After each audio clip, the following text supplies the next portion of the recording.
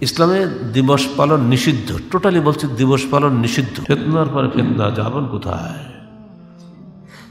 আজকে কি thirty first night নাকি? জীবনে আমরা সব শুনি নেই। এই কয়েক বছর থেকে এই সময় ফেতনা আসতেছে। একত্রিশে ডিসেম্বর, আজকে নাকি ওটা? এটা ফেতনার দিন। কালকে পহেলা জানুয়ারি, আনন্দের দিন। মানে আজকে রাত্রে যত বদমাশি করবে, কালকে আনন্দের নাম করে আরও বদমাশি করবে। এই দুটো দিনই হচ্ছে বদমাশি করার দিন। অর্থাৎ মুসলমানের কাছে প্রতিটি সকালই নববর্ষ, তাই না? ঘুমিয়ে গেছে, শেষ। প্রতিটি সকালে যে আল্লাপাক আমাকে ঘুম থেকে উঠালেন, আমি তার জন্য শুক্রিয়া তো করি না? আলহামদুলিল্লাহ নাজি আহিয়ানা ব্রাদামা আমাতানা ও হিন্ন সুর যাবতীয় প্রশংসা সেই মহান আল্লাহর জন্য তিনি আমাদেরকে, আমাকে জীবন দিয়েছেন মৃত্যুদানের পরে। মানে ঘুমটা মৃত্যু। আর তার কাছে আমাকে ফিরে যেতে হবে। তাহলে আমাদের মুসলমানদের কাছে প্রতিদিন সকাল তো নববর্ষ নব, নতুন দিন। আর এই সমস্ত কি বলবে ওদেরকে মানে একবারে শয়তানের এজেন্ট এরা সব। আরে বাবা থার্টি ফার্স্ট কিসের বা যদি বর্ষ পালনই করতে হয়, তাহলে তাহলে বাংলাদেশের মুসলমানদেরকে তিনটে বর্ষ পালন করতে হবে। তিরিশে চৈত্র পহেলা বৈশাখ, দুটো হলো। আর জিলহাজের শেষ দিন আর পহেলা জিলহাজ পহেলা কি? মহরম। আর দুটো হলো, আর ডিসেম্বরের শেষ দিন পহেলা জানুয়ারি। আর দুটো হলো, কারণ এখানে তিনটা বা তিন দিন ছয়টা পালন করার সুযোগ আছে। যদি এইভাবে সারা বছর আমরা পালন করতেই থাকি, দেখবেন তিনশো পঁয়ষট্টি দিনে কুলাবে না। নেতাদের জন্মদিন, নেতাদের মরার দিন। নেতা তো একটা দুটো না। যত দল, তত নেতা না। ধর্ম নেতা রাজনৈতিক নেতা, পীর নেতা, মীর নেতা তো হিসাব নিকাশ নেই। শুধু যদি নেতা হিসাব করা হয়, তাতে তো কয়েক শ হয়ে যাবে। ইসলামে দিবস পালন নিষিদ্ধ, টোটালি বলছে দিবস পালন নিষিদ্ধ। যে সমস্ত ছেলেরা মুসলমানের ছেলে আখেরাতকে ভয় করো, তোমার এই সময় অপকর্মে যেও না। তুমি যখন দুনিয়াতে এসেছিলে, তোমার বাপ মাও জানতো না তুমি আসবে। এসেছিলে এই জন্য তোমার বাপ মা খুশি ছিল সেদিন। তুমি খালি একলা কেঁদেছিলে, সবাই হেসেছিল। আর এমন জীবন গঠন করো যে তুমি হাসতে হাসতে মরবে কান্দবে সারা দুনিয়া। ওই উন্নত জীবন গঠন করো।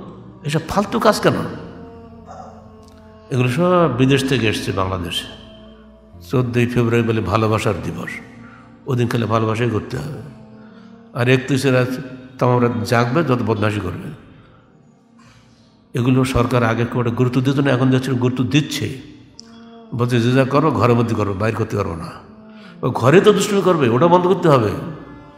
আজ কক্সবাজার ধ্বংস দিচ্ছে না দর্শকরা বদমাসরা কিশোর গ্যাংসা একটু ছেলেপিলে, এরা নারী দর্শন করে, এরা মানুষ নাকি যে পুরো ইবলিশ সব এরা। এদের কোনো শাস্তি আছে? দিল কারাগারে যে কক্সবাজারের যে শয়তানটা, এক মাস পর বেরিয়ে চলে এসছে। ষোলোটা মামলার আসামি, তাই কেন ছেড়ে দেওয়া হলো? পুলিশ ভালো করে চেনে, তাকে জানে। এই জন্য পুলিশের উপরে মানুষের এখন আস্থা নেই। অতএব সাবধান। মানুষের নৈতিক চরিত্র ঠিক করার জন্য সবচেয়ে আগে জরুরি হলো কড়া প্রশাসন এবং আল্লাহ ভীতি। আল্লাহ ভীরুতার সবক না না দিয়ে খালি রাইফেল করে কোনো কিছু করা যাবে না।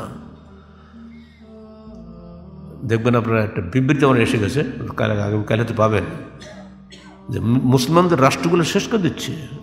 আজকে মধ্যপ্রাচ্যের রাষ্ট্রগুলো ইসলামের তথ্যস্থল না। মক্কা কোথায়? সৌদি আরবে না মধ্যপ্রাচ্য রাষ্ট্র না। একটার পর একটা সেখানে আধুনিকতা নাম করে এক ধ্বংস হয়ে যাচ্ছে এখন সেখানে। বাধ্যে প্রতিবাদ দিলাম আচ্ছা মতো। আমরা মধ্যপ্রাচ্যকে সম্মান করি ইসলামের কারণে, সম্পদের কারণে নয়।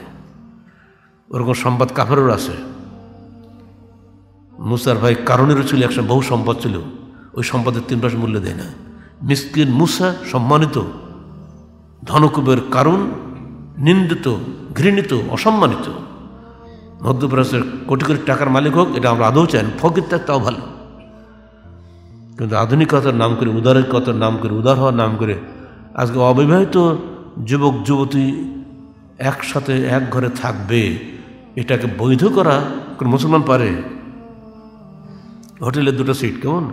একটা সিট একজনের, একটা সিট আরেকজনের কে কোথাও ঠিক নেই। যে যেমন পারে আসতে পারবে। কোনো স্বামী স্ত্রীর বৈধ কোনো লাইসেন্স দরকার নেই। এই এটি কোনো আইন হলো? এই সমস্ত আইনের কোনো মূল্য আছে? ইসলামের উদ্ভব ভূমি যেখানে নষ্ট হয়ে যাচ্ছে। ওদের দেখা দেখে আমাদের বাংলাদেশও করবে আগামীতে। ও যা করলে তো আমরা করলে দোষ কি? বলবে না? সে এত আলমালাম আছে? জি না। কোনো মানুষের দোহাই দেবেন না। হাদিস দেখেন তো কী বলছে। কোনো বেগানা নারী পুরুষ কোশ্চিন কালে একত্রে থাকতে পারে না। পর্দা ছাড়া। পর্দা ছাড়া কোশ্চিন কালে কোনো নারীর ইজ্জত রক্ষা পাবে না, যতই আপনি আইন করেন। ওইসব আইনের কোনো তিন পাশে মূল্য নাই। মানুষের স্বভাব ধর্ম ইসলাম ইসলামের বিধান হলো চূড়ান্ত। এই বিধানের বিপরীত যেই করবে, সে ঠকবে। সে যত ক্ষমতাশালী হোক না কেন। এগুলো আমরা বলছি না, খালি একটাই বলল থার্টি ফার্স্ট নাইট এটা ফালতু জিনিস। এই ফালতু কাজে যুবক, তোমার সময় নষ্ট করো না। নিজেদের মূল্যবান জীবনটাকে ধ্বংস করো না। আল্লাহ পাক তোমাদেরকে জীবন দান করেছেন, যৌবন দান করেছেন। এই জীবন এবং যৌবনের কৈফিয়ত তোমাদেরকে দিতে হবে আল্লাহর কাছে। শুধু জীবন নয় আলাদাভাবে জীবনে যৌবনের কৈফিয়ত দিতে হবে। অনসবাব এই ফিমা আল্লাহ হে যুবক, তোমার যৌবনকে কোন কাজে ব্যয় করেছিলে? এত সহজ না। যা খুশি তাই করবে, পারবে না। আল্লাহর বিধান মেনে চলো, ইহকালে পরকালে শান্তি থাকবে ইনশাআল্লাহ। থার্টি ফার্স্ট নাইট যেন রাষ্ট্রীয় না করে, বাজি ফোটানো ইত্যাদি অনেক কিছু ফালতু কাজ হয় না? আর বাবাদেরকে বলছি, ছেলেদেরকে এত স্বাধীনতা দিবেন না। সে কোথাও যাচ্ছে খোঁজ নেবেন। ঘর থেকে একদিন পরে তালাদের রেখে দিন, ঘরের মধ্যে আটকে রাখেন। আর টিভি বন্ধ করে রাখবেন। এসে ফালতু চিন্তা দেখানো হয় টিভিতে। টিভিতে আজকাল একটা না, কত গন্ডা টিভিতে ঠিক আছে। বেসরকারি টিভি মেলা আছে না, তারা এগুলো নিয়ে নিয়ে দেখায়। যেন মনে সারা দেশ থার্টি ফার্স্ট নাইটে নাচতেছে। ও দেখা যাচ্ছে হয়তো একটা সিন দেখাচ্ছে, ওটা দিয়ে বুঝেই তো সারা দেশ নাচতেছে। কোথায়? কিছু তো দেখি না আমরা। আলহামদুলিল্লাহ রাজশাহী দিক দিয়ে অনেক মুক্ত। তবুও আমাদের সাবধান করার দায়িত্ব, তাই করে যাচ্ছে। কোনো ছেলে যেন বিপদে না যায়, আমরা প্রাণ করলে আল্লাহকে সেই দোয়া করি। আমাদের বাচ্চারা আল্লাহর পথে থাকুক। প্রত্যেক সন্তান চায়, আমরাও চাই কত বাপও চায়, মাও চায়, আমরাও চাই। আল্লাহ আমাদের সন্তানদেরকে জান্নাতের জন্য কবুল করে নিন। আল্লাহ